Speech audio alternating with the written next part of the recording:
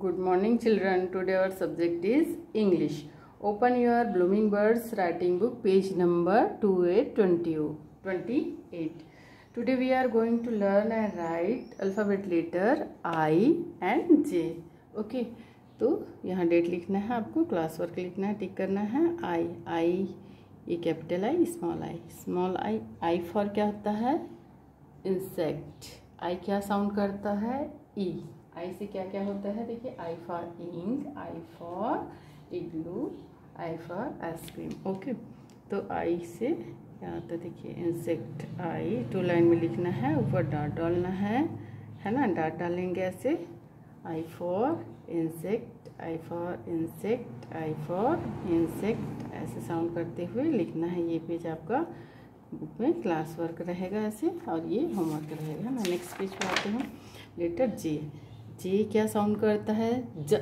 जे क्या साउंड करता है? ज। यहाँ पर एक इसका पिक्चर है जैम का। जे फॉर क्या होता है?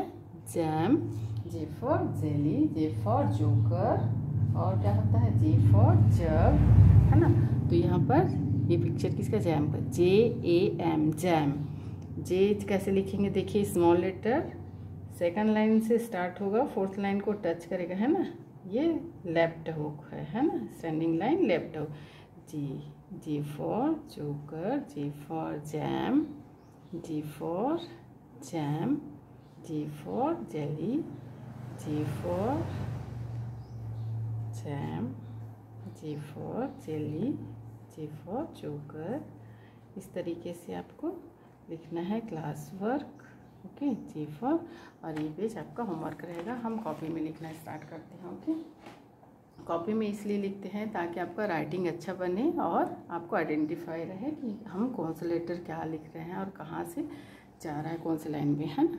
तो यहाँ क्लास वर्क डेट डालेंगे ये आई आई कौन सा पिक्चर है? आइसक्रीम तो ये capital I, small I, capital I, small I capital I small I capital I small I इस तरीके से लिखना है आपको।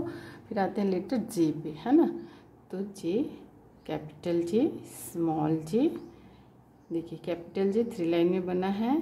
स्मॉल जे फोर्थ लाइन को टच करता है सेकंड लाइन से स्टार्ट होके। तो आपको ऐसे ही लिखना है ना? Small J capital J small J capital J small J J for jug है ना G capital G small G capital G small G इस तरीके से आपको लिखना है कॉपी में। होमवर्क लिखना है A B C D E F G H I G है ना?